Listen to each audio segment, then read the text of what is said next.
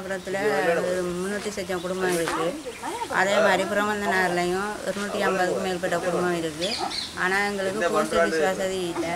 இப்போ எங்களுக்கு எந்த அரசியல் கடிதமாக இருந்தாலும் சரி எங்களுக்கு ஒரு மரண தந்தியாக இருந்தாலும் சரி ஒரு இன்றைய கடிதங்களாக இருந்தாலும் சரி எங்களுக்கு உரிய நேரத்தில் வந்து கிடைக்குதுல.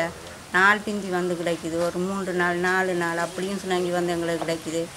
அதனால் எங்களுக்கு இந்த தபால் சேவையை எங்களுக்கு கூடிய விலையில் நீங்கள் செய்து தரணும். அளவான குடும்பம் இருக்குது அதனால் எங்களுக்கு ஒரு போஸ்ட் ஆஃபீஸ் உண்டு. கட்டாயம் எங்களுக்கு இந்த பிரபந்தனா டிவிஷனுக்குள்ள அமைச்சு தரணுண்டு நாங்கள் இது சம்மந்தப்பட்டவங்க எல்லாரையும் கேட்டுக்கொள்கிறோம்